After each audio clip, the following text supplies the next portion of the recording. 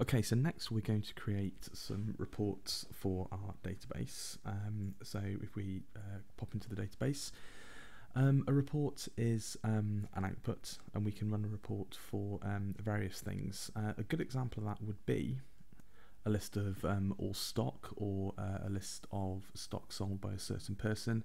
A report can be created from a table directly, but it can also be um, created from a query. So it might be necessary to create a, to create a query um, that we can then base the report upon.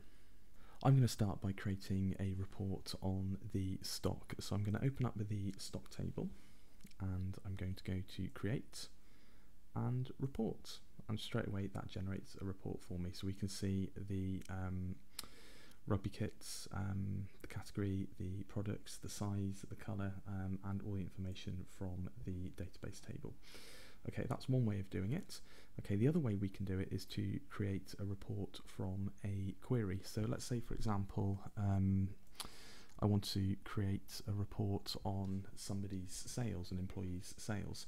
So I've quickly added a couple of records to the database so we can see um, that Mark, the employee, has made two sales.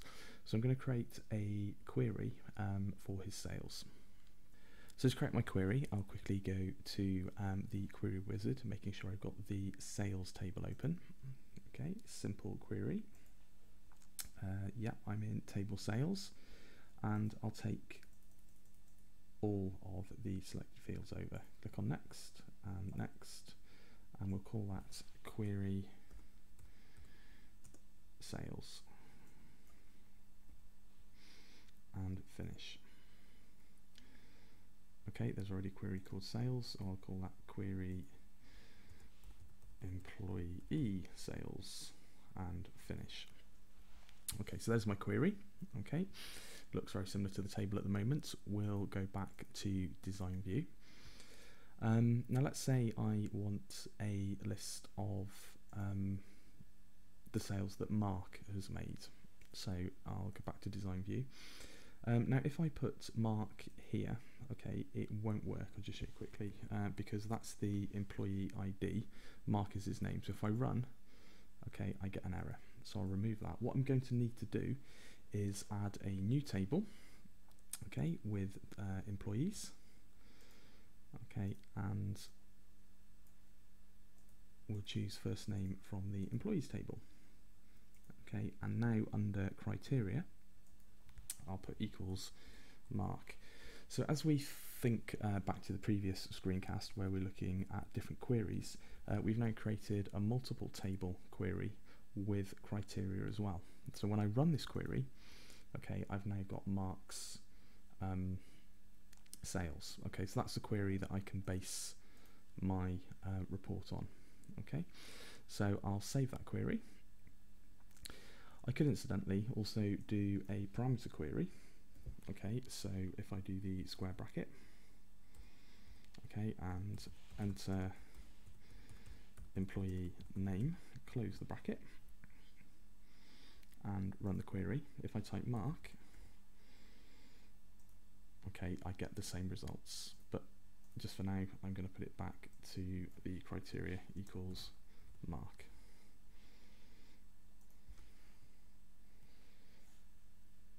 That one and just check it works. Good. Right, so now I've got my query. Okay, I'm going to go back to create, a report. Okay, and now I've got the information from my query as part of a report. I'm going to have to change this design. Okay, the so I'm going to go to View and Design View. Um, I can change the title of the report, so I don't want uh, QRY there, so I'll put uh, that as Mark's Sales Report. So you can start to customize the form now um, by changing the layout, changing the design. Um, you might want to temporarily move the footers down a little bit, like that for example. Um, you can right click, you can change the back color. Okay, you can change the font color like that. And you can also change the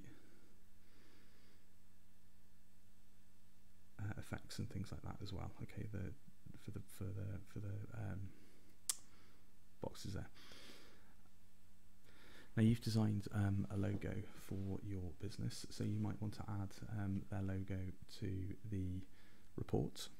So you've got the controls here um, where you can do that. So for example, if you click on add picture, draw where you want the picture to appear.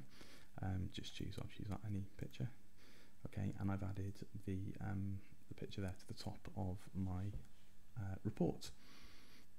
Now you may also have noticed if we go back to report view, okay, um, that particularly on the other example, um, that this might not fit all on one page. So if your report's not going to fit on one page, back in design view, you can start to pick up the uh, labels and you can start to pick up the uh, data and move them around so they would fit all on that one page. So when it comes to saving your reports, um, it's a good idea to use the abbreviation RPT, okay, and I'll call that one marks sales. So you can see um, the abbreviations I'm using. I've got RPT for reports. Over here I've used QRY for queries and TBL for the tables. It just makes it a little bit easier, um, particularly when we're looking at lists to work out what's a table, what's a query, and what's a report. So if I click on save, and that's my report for Mark Sales created. Now quickly just want to show you the report wizard. If we go back to the query, or we could choose a table. Um, in my first example, I choose report. This I chose report. Uh, this time I'm going to choose um, report wizard. Okay. Now this is the the wizard interface, uh, just like creating a query. So just make sure I've got the correct um, data set. So from a drop down here, I'll make sure I've got employee sales, the query employee sales. Uh, I'll take all that data across, choose next.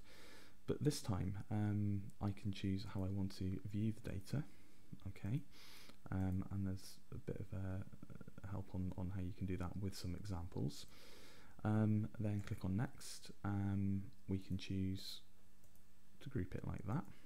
Okay we can choose to put it in ascending order of uh, say quantity sold. Um, and if we choose next we can choose different formats for the reports. Okay different layouts. Okay um, now that for example could be used to create a report of um, employees with who sold the most stock uh, for your coursework you only need to create two or three reports um, they don't um, have to be this advanced well, not all of them. Um, go for one report which has some form of grouping, um, and the other couple of reports you produce can be more simple, like in my example. Okay, so if I just quickly finish that, and we'll call that reports employees. Okay, let's just see what that comes up with. There we are. So you can see now um, I've created report employees, got sales by month, um, we've got um, the uh, information there, but it's grouped. So as we add more employees, we could create a list of employee sales, employee sales. Um, this could be the same for holiday bookings, for example. Um, it could be a list of people who attend, so these uh, say dance classes, so that could be a list of people. Uh, that could be the teacher, so we could have the teacher and the um, people who attend the dance classes underneath. It could be the holiday rep, or the, the sales agent and the bookings they've made underneath. It could be, as in my example, the shop assistant and a list of um, sales uh, that have been uh, sold by that person there. Okay, so you can go ahead now and create yourself some reports.